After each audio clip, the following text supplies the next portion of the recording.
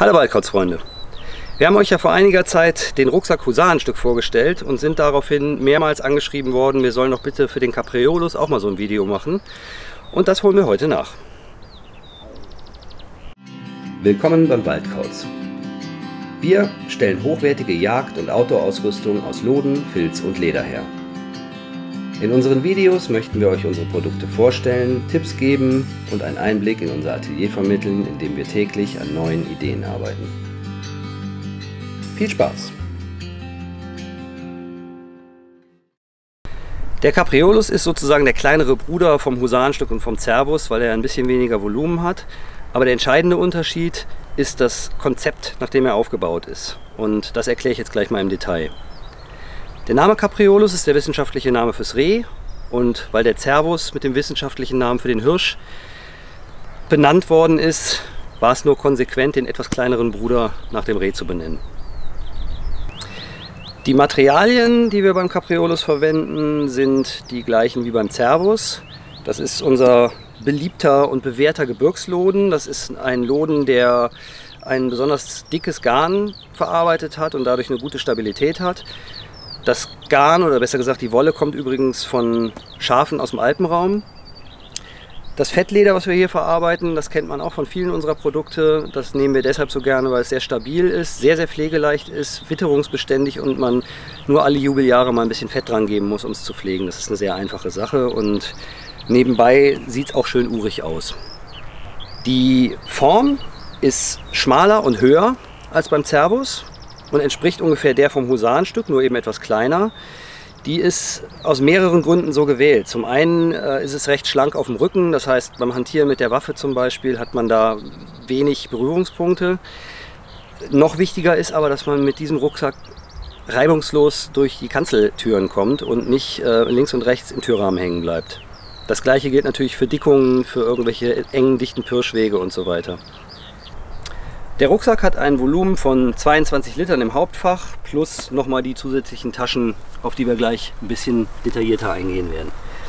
Im Hauptfach ist zusätzlich nochmal ein Reißverschlussfach aus Baumwolle, was vom Format her ähnlich wie bei den anderen Rucksäcken für Jagdschein vorgesehen ist, für eine Warnweste, für ein paar Kleinigkeiten, die eher flacher sind und zwischen Rücken und dem Gepäck gut unterkommen können. Ähm, das Hauptfach wird verschlossen durch einen Zollriemen, mit dem ich die, die Öffnung verschließen kann und darüber ein extra Deckel, der mit diesen beiden Lederriemen hier nochmal gehalten wird. Der dient einmal als Niederschlagsschutz und zum anderen ist er sehr praktisch, weil ich noch eine Decke drunter rollen und festzurren kann oder meine Jacke drunter hängen kann oder anderes Gepäckstücke, andere Gepäckstücke ähm, irgendwie da drin befestigen kann.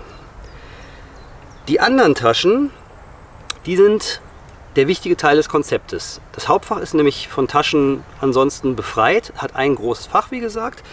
Die äußeren Taschen sind aber alle super einfach zu erreichen. Das Konzept ist halt, dass ich am Ansitz, auf dem Hochsitz, auf dem Drückjagdstand jederzeit auf meine kleinen Jagdausrüstungsteile zugreifen kann, ohne jedes Mal eine Decke rauswühlen zu müssen, eine Jacke rauswühlen zu müssen oder in den, Tiefen, in den dunklen Tiefen des Rucksacks kramen zu müssen.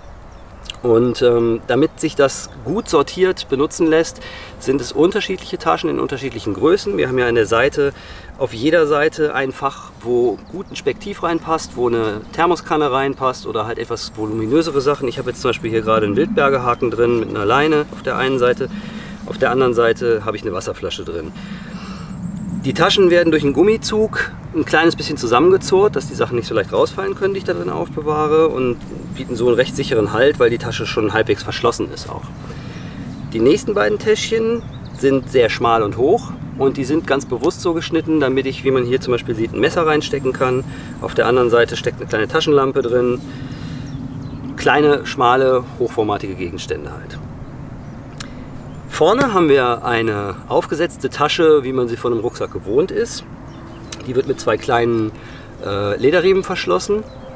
In dieser Tasche befindet sich zusätzlich der Klettriegel, den wir von vielen Taschen und Rucksäcken von uns kennen, an dem ich das Modulus Patronetui-System befestigen kann. Das heißt, ich kann für verschiedene Waffen das Patronetui da einkletten und habe meine Munition schnell griffbereit und immer an der gleichen Stelle und weiß in der Dunkelheit auch, wo ich hingreifen muss. Dieser Klettriegel ist verschließbar, das heißt man kann eine kleine Klappe darüber machen. Wenn ich das also nicht benutze, bleiben mir auch keine anderen Gegenstände dran hängen und es macht auch keine fiesen Geräusche, während ich in der Stille des Abends beim Ansitz bin. Hinter der aufgesetzten Tasche gibt es nochmal zwei kleine Fächer. Da habe ich jetzt hier zum Beispiel gerade ein kleines Mauspfeifchen drin. Meistens steckt der Kanzelschlüssel da noch drin, dann weiß ich immer, wo er ist. Und äh, ein Päckchen Kaugummi oder sowas geht halt auch problemlos rein.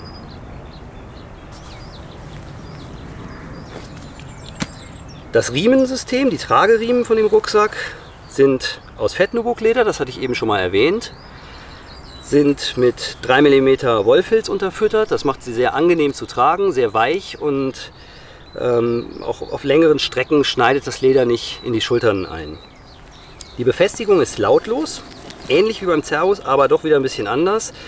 Äh, wir haben eine Lederfilzecke, die im Rucksackkorpus festgenäht ist und können über so ein Loch- und Riemensystem den Rucksackriemen in der Länge verstellen. Das ist nicht das Allerhandlichste, aber das macht man auch nur einmal und dann hat man es eingestellt. Und der große Pluspunkt ist, dass ich stattdessen keinen keine Metallschnalle, keine Dornschnalle habe, nichts was klappert und gerade, das kennt jeder, wenn man den Rucksack auf dem Kanzelboden abstellt, ist es oft so, dass es so ein fieses Klack-Klack macht und man sofort das Gefühl hat, dass man Unruhe gestiftet hat. Das ist damit komplett aus der Welt und es ist eine sehr stabile und sichere Verbindung. Hier oben hat er noch einen Griff, damit ich ihn nicht nur auf dem Rücken tragen muss, sondern auch handlich in die Hand nehmen kann und äh, nicht immer nach einer Stelle suchen muss, wo ich zugreifen kann. An den Trageriemen habe ich zwei Schlaufen, die werden auch mit einem Stückchen Kordel mitgeliefert. Die dienen einfach dazu, wenn ich mal länger unterwegs bin, dass ich diese Kordel hier vorne einschlaufen kann mit einem Kreuzknoten oder mit einer Schleife ein bisschen fixieren kann und dadurch den Druck vom Brustgurt verändern kann und, und ein anderes Tragegefühl in den Schultern bekomme. Das heißt, wenn ich eine Ermüdungserscheinung auf den Schultern habe und das ein bisschen enger ziehe, dann rutscht der Gurt automatisch ein bisschen weiter nach innen und sofort liegt der Druck auf einem anderen Teil der Schulter und es wirkt direkt wieder viel angenehmer. Gerade wer, wer das vom Wandern vielleicht kennt, weiß, wie komfortabel das sein kann, wenn man das hin und wieder ein bisschen verstellen kann. Ist aber eigentlich auch nur dann nötig, wenn man wirklich länger mit dem Rucksack mal am Berg oder auf einer langen, weiten Pirsch unterwegs ist.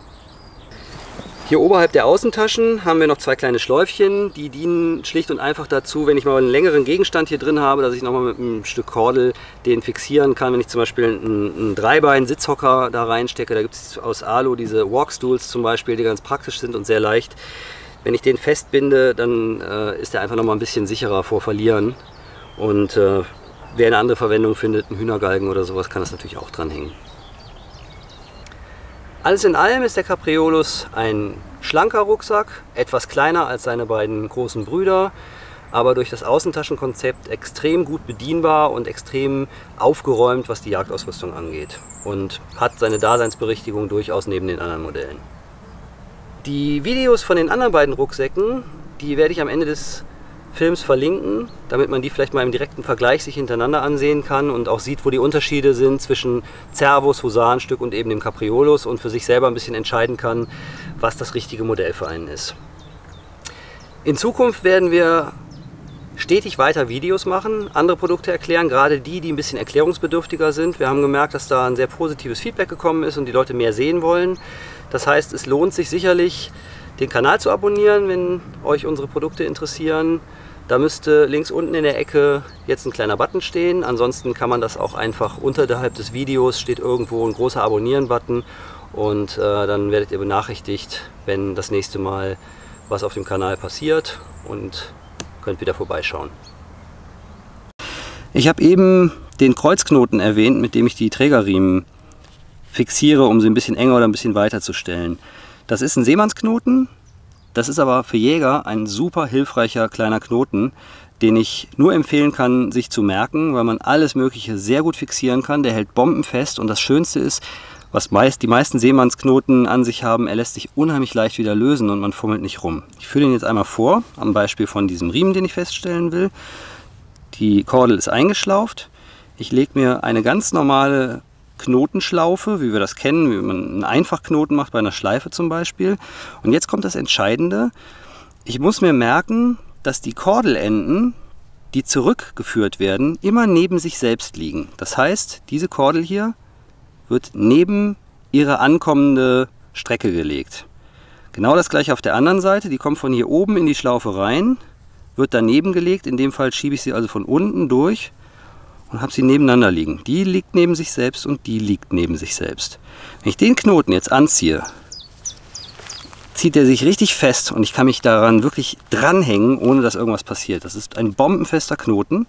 Und das Schöne ist, ich brauche nur gegeneinander schieben, ein bisschen hin und her bewegen und der ist sofort wieder offen. Das heißt, ich kann den blitzschnell, ich mache das jetzt nochmal, führe das jetzt nochmal vor, blitzschnell knoten, habe ihn stabil und genauso blitzschnell habe ich ihn wieder geöffnet. Vielen Dank fürs Zuschauen und für eure Zeit und bis zum nächsten Mal.